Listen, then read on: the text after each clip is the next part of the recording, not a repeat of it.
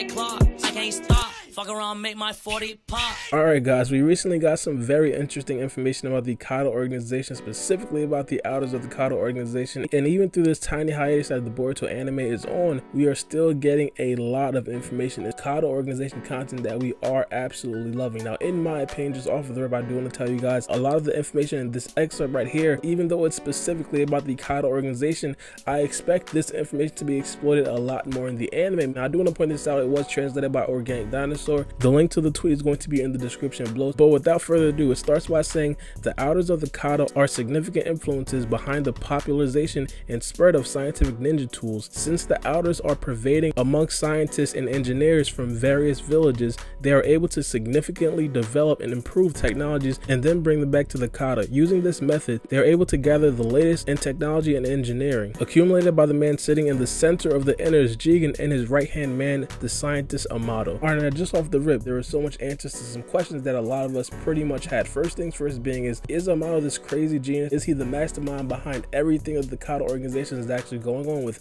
It turns out that he is not. They're pretty much getting tidbits from other scientists and engineers out there in the ninja world. Another thing that we do find out is that the outers of the Kara organization, they are not all former ninjas. But continuing on to the next paragraph, it says almost all the outers believe that this is being done in order to expand the sphere of influence of the secret society known as Kara or perhaps that it's for the purpose of evolution and progression of mankind throughout the advancement of technology. However, the true objective of this organization is only known to the inners and Jigen himself. They have no intention of allowing anyone else aside from themselves to jointly share in their high quality sake of success. Now, first things first, what we do understand is that the Kara organization are not being completely truthful to a lot of the outers in the Kara organization. One of the biggest questions that we did have coming off the heels of the last chapter is what is the incentives for everybody to pretty much go along with the Kara organization, especially the outers. What Amado did actually explain is that once Jigen's plan does come through to fruition, everybody on Earth is probably going to die, possibly except for the cyborgs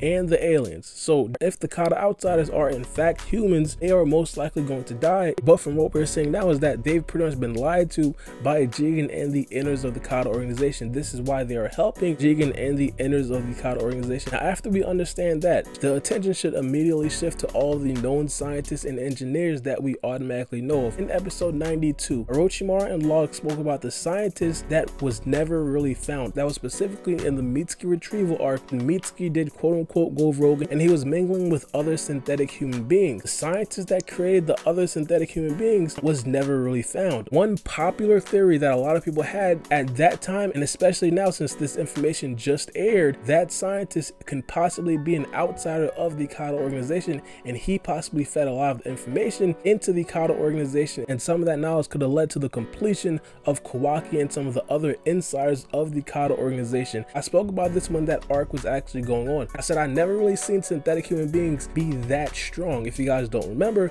the leader of the synthetic human beings back then was Lord Ku. He was Kage level. The strongest synthetic human beings that we did see was Log, Mitsuki, and Shin Uchiha, the clones of Shin Uchiha. But Lord Ku was on another level, and I'm pretty sure the Kara organization seen that and they wanted to get some of the intel and the information that went into Lord Ku and him being him. And not only that, another synthetic human being had dojutsus in their eyes. And I'm pretty sure that we are all aware a member in the Kara organization as of right now has a synthetic dojutsu as well. Her name is Delta. And of course, the conspiracy gets even deeper when you realize that the scientist's body was never recovered. And it's not just that scientist. We have to take a look at every other scientist for example, Orochimaru. Could Orochimaru possibly be feeding information to the Kara organization, possibly unknowingly feeding information to the Kara organization? We understand that the Kara organization wants to put Katasuke, the hidden leaf scientist, under a Genjutsu, and that right there gave them all the information that the hidden leaf had. Other scientists in other villages as well could also be easily manipulated by the Kara organization, knowingly or unknowingly to aid the Kara organization with what they want to do. A lot of questions for myself definitely spawned after reading these two paragraphs. One of the biggest ones is going to be where did the Kara organization get majority of their information from? For example, we understand that characters such as Kashin Koji and characters such as Delta, extremely strong god level characters, are synthetic human beings created by scientific technology. What other village in the ninja world has access to this type of technology? But let me know what you guys think. It's me, boy Bar and we out for the game. Shorty want class, so she fought for the fame.